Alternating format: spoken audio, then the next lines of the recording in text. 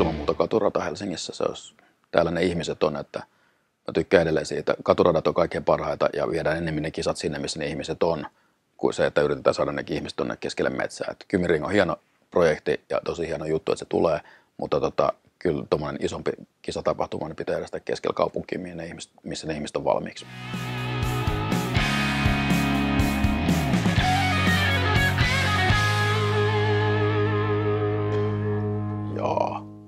En mä olisi miettinyt tuommoista koskaan. Siis mun mielestä autot on vaan ihan työkaluja, että niitä käytetään sitä mukaan. Että en, mä, en mä ajattele autoja mitenkään henkilökohtaisesti, että mulle autot on vaan liikkumisvälineitä ja mä valitsen sen mukaan, mitä, mitä, mihin tarkoitukseen mä sitä tarviin. Että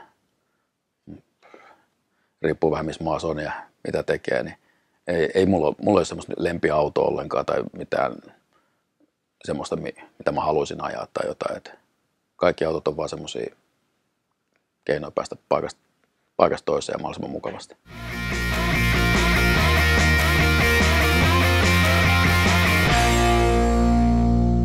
Siis sitähän voidaan muuttaa sillä säätämisellä ja, ja tota, tätä eri kuskit haluaa eri asioita, niin sitä säädetään se kuskin mukaan ja tehdään sitten semmoinen kuin haluaa, että, että tota, siinä autossa on miljoonia eri paikkoja, mitä siitä voi muuttaa ja muuttaa, että sitä yritetään muuttaa sille kuskille hyväksi, että se kuski pystyy ottaa sitten kaiken irti.